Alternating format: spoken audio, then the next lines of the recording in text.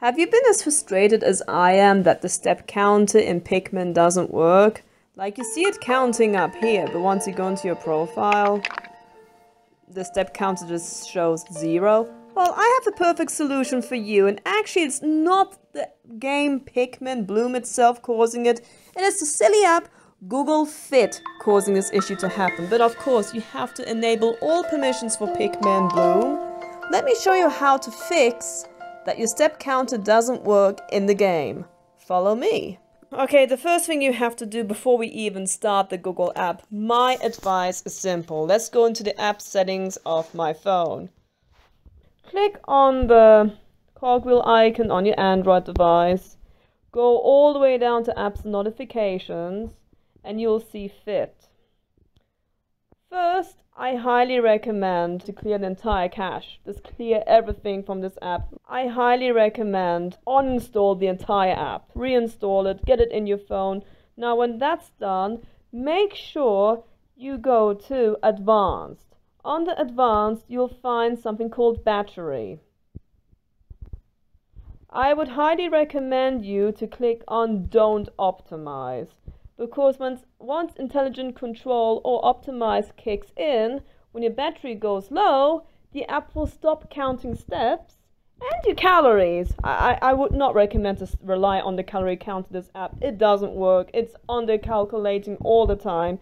I mean, no healthy human burns 1,300 calories sitting down. That's already been proven. But that's another story. So make sure you click on don't optimize, go out, out of the app, or go out of here, make sure everything else is alright. And also make sure that the location is allowed and your physical activity, that it tracks all your physical activity. And remove permissions if app isn't used, make sure that is off. Because if that one is on and you're not using your app, it's not going to count steps for Pikmin Bloom. Right? Let me show you how the app works. Now we're going to go into Google Fit. There you see my awesome profile. Let's see. Go into the cogwheel icon here. And now we are going to go to tracking preferences.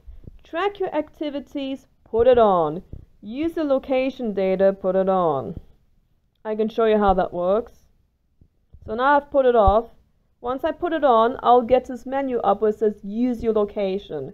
Use location in the background to map your walks, runs and bike rides and get more accurate workout metrics. Fit will collect location data even when the app closed or not in use. So step one, allow Fit to use location once or while using the app. That one has to go on. Step two, allow Fit to use location all the time. Turn on now. Perfect. Now your app should be 100% ready to go and make sure that your app is tracking activities all time. So let's try walking around a bit. Do know that the app is super slow in updating its steps? So sometimes it doesn't even update it real time. I don't know why. I have not designed this app. But you will know that Pikmin will not work if the app stays on zero. And once you have this app installed, Pikmin will ask you if it can gain access to this, and you press, of course, yes. Now let's let us go back into Pikmin to see if it works. I'm going to try to walk around a bit to see if it gets if it counts.